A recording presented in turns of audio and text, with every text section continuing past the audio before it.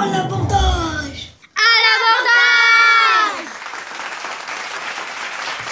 Titre Un nœud à mon mouchoir. Je reste ici, dit Antonin. près de grand-père. C'est impossible dit maman. Grand-père est mort, on va le conduire au cimetière.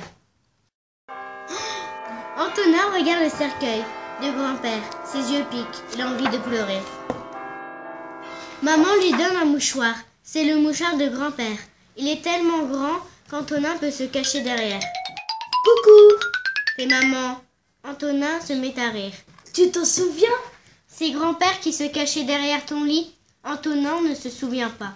C'est normal, j'étais encore un bébé. Et il se réfugie derrière le grand mouchoir. Antonin se souvient qu'il jouait au cow-boy dans le jardin. Grand-père faisait le cheval. Un jour, grand-père a fabriqué un bateau de pirates avec des voiles et un grand drapeau rouge. Un navire est arrivé et grand-père a crié. À l'abordage Après la bataille, les pirates avaient faim. Dans leur cachette, ils mangé des frites. Un jour, ils construisaient une cabane dans la salle à manger. Maman s'est fâchée et grand-père a dit Viens mon garçon, on s'en va. On ne peut plus rien faire ici. Ils ont préparé un pique-nique avec des tartines de chocolat. Ils ont- sont partis dans toute la journée et quand ils sont rentrés, il faisait presque noir. Tant pis pour maman. Pour ses 5 ans, Antonin a reçu un vélo. Grand-père lui a appris à rouler et Antonin n'est tombé qu'une seule fois.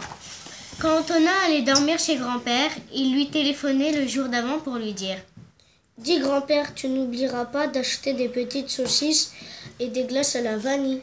Grand-père faisait un nœud dans son mouchoir pour ne pas oublier. Et il n'oubliait jamais.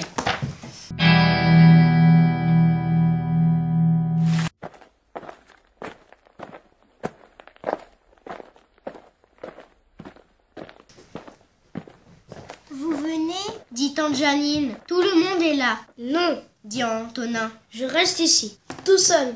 dit maman. Antonin regarde par la fenêtre. Tout le monde est là. Il descend du fauteuil de grand-père et il fait ses lacets. Antonin ne savait pas que les grands pouvaient marcher si lentement. D'habitude, ils sont toujours pressés.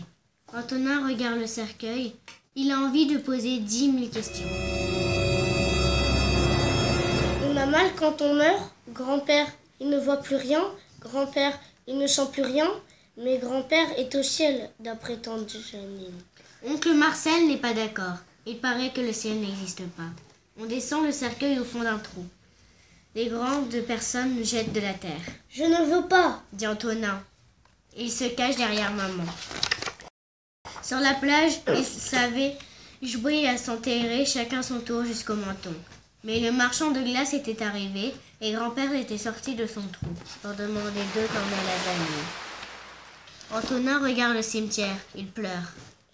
Tiens, Dit maman. c'est pour toi. Antonin prend le mouchoir de grand-père et rit à travers ses larmes. Je vais faire un nœud. Pour ne pas oublier grand-père. Ouvrez les yeux, les moussaillons, là-bas au large, à l'horizon. C'est le vaisseau de mon grand-père qui est parti courir les mains. Ouvrez les yeux, les gens du port, car moi aussi je suis à bord. Je tiens la main du capitaine, je me sens fort, fort comme un chêne. À l'abordage